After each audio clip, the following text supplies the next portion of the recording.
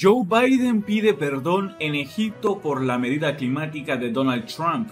El presidente de Estados Unidos, Joe Biden, dijo este viernes 11 de noviembre a las naciones del mundo que lamenta que el expresidente Donald Trump retirara a Estados Unidos de un pacto histórico de reducción de emisiones y advirtió de un inminente infierno climático.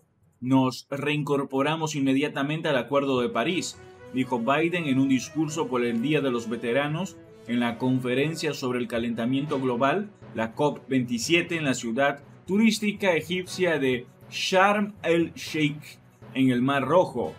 Donald Trump retiró formalmente a Estados Unidos del Acuerdo de París en noviembre del 2020, unos dos meses antes de que Biden asumiera el cargo, después de decir que lo haría en el 2017, porque fui elegido para representar a los ciudadanos de Pittsburgh, no de París. En ese sentido, puede ser políticamente problemático que los presidentes estadounidenses se disculpen en el extranjero por los actos de sus predecesores. Los republicanos arremetieron regularmente contra el expresidente Barack Obama por sus comentarios en el extranjero después de que creciera el sentimiento antiestadounidense durante la guerra de Irak. Biden, que cumplirá 80 años el 20 de noviembre, llegó a Egipto después de una serie de meteduras de pata en el jardín de la Casa Blanca cuando partía para el viaje a última hora el del jueves. Al ser preguntado por un periodista sobre si tenía esperanzas de que la guerra entre Rusia y Ucrania terminara pronto, el presidente confundió Rusia y Ucrania con Colombia y Camboya y dijo incorrectamente que estaba visitando el Cairo en Egipto en lugar de Sherm el Sheikh, a unos 500 kilómetros de distancia. No creo que el conflicto con Rusia y Ucrania se resuelva hasta que Ucrania salga de... de que Putin salga de Ucrania, dijo Biden en el césped. De todos modos, chicos, me dirijo a, en primer lugar, ir a El Cairo para el esfuerzo medioambiental. Luego me dirijo a Colombia y luego quiero ir a Camboya. Estaba pensando, estoy pensando en el hemisferio occidental, indicó. El presidente de Estados Unidos es de mayor edad de la historia y su agudeza mental es regularmente un tema de debate político. El miércoles Biden abandonó una rueda de prensa posterior a las elecciones de mitad de mandato antes de lo previsto, después de referirse por error a la retirada de las tropas rusas de Fallujah, una ciudad de Irak, cuando quería decir Kherson, en Ucrania. Biden había dicho que llamaría a 10 periodistas para que le hicieran preguntas pero se marchó tras llamar solo a nueve. Biden se ciñó su guion en la cumbre del COP27, donde prometió que Estados Unidos cumpliría su promesa del Acuerdo de París de reducir las emisiones de gases de efecto invernadero a la mitad de los niveles del 2005 para el 2030. Estados Unidos de América cumplirá nuestros objetivos de emisiones para el 2030, dijo el presidente entre aplausos. Nos apresuramos a hacer nuestra parte para evitar el infierno climático, sobre el que el secretario general de la ONU advirtió tan apasionadamente esta semana. No estamos ignorando los presagios que ya están aquí. Joe Biden también alabó la ley de reducción de la inflación de 437 mil millones de dólares de este año, que incluye 7.500 dólares en créditos fiscales para los compradores de nuevos coches eléctricos y otro gasto medioambiental, así como la ley bipartidista de infraestructura de 1.2 billones de dólares del año pasado, que incluía 7.500 millones para construir una red nacional de estaciones de recarga de vehículos eléctricos. Si este contenido es de tu agrado, no olvides comentar, suscribirte, dejar tu me gusta y compartir el video. Ayúdanos a crecer para llegar a más personas. Muchas gracias por tu apoyo. Lista negra de Putin. Rusia incluye a familiares de Biden y a la portavoz de la Casa Blanca. La ampliación de la lista negra es la respuesta a las sanciones personales adoptadas por Washington contra funcionarios, empresarios y personalidades de la cultura rusa, informó en un comunicado el Ministerio de Exteriores de Rusia. Moscú sigue ampliando su lista negra, donde aparecen tantos países como políticos. Este viernes Rusia ha incluido en esta lista a 200 ciudadanos estadounidenses, entre ellos los hermanos del presidente de Estados Unidos Joe Biden y la portavoz de la Casa Blanca, Karine Jean-Pierre. La ampliación de la lista negra es la respuesta a las sanciones personales adoptadas por Washington contra funcionarios, empresarios y personalidades de la cultura rusa, informó en un comunicado el Ministerio de Exteriores de Rusia. Entre los sancionados figura la hermana del presidente estadounidense, Valerie, y sus hermanos pequeños Francis y James.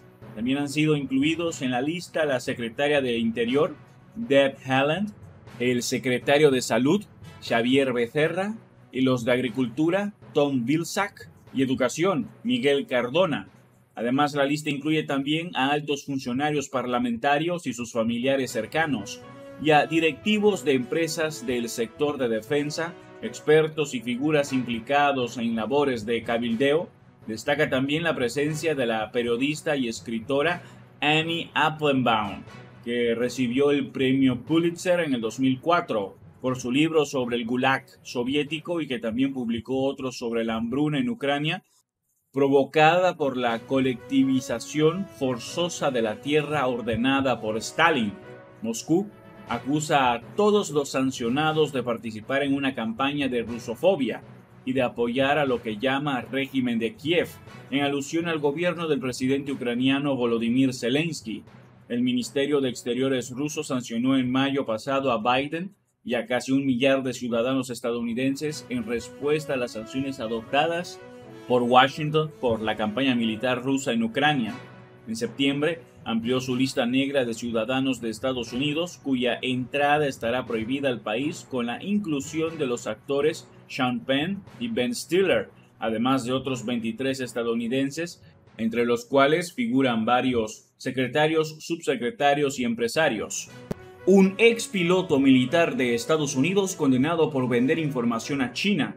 La sentencia llega menos de un mes después de que trascendiera la contratación de antiguos aviadores occidentales por parte de Pekín. El afán chino por hacerse con información occidental a través de antiguos pilotos militares tiene esta semana un nuevo capítulo con la condena de Shapour Moinian a 20 meses de cárcel. El Departamento de Justicia de Estados Unidos da por probado que este antiguo miembro del ejército del país, el US Army, ha proporcionado información sobre la aviación estadounidense a China a cambio de varios miles de dólares la noticia llega menos de un mes después de que trascendiese que Pekín ha estado reclutando a pilotos occidentales para aprender sus procedimientos de combate por si se enfrentan a ellos, particularmente si se acaba produciendo una guerra frente a Taiwán.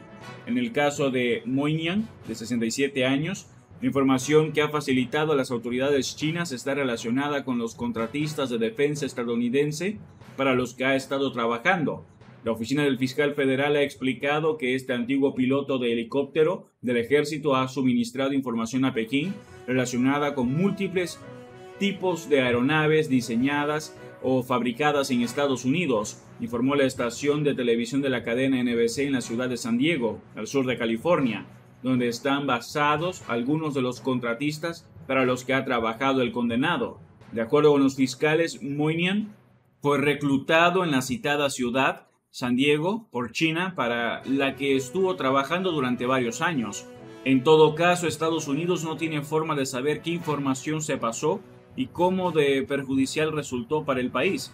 Por su parte, el abogado del ex piloto argumentó que su defendido no ha pasado información clasificada y la mayoría está disponible en abierto en Internet. Apenas una pequeña parte de la información facilitada está relacionada con patentes de empleadores anteriores de Moynihan precisó el letrado, intento equivocado de mantener a su familia.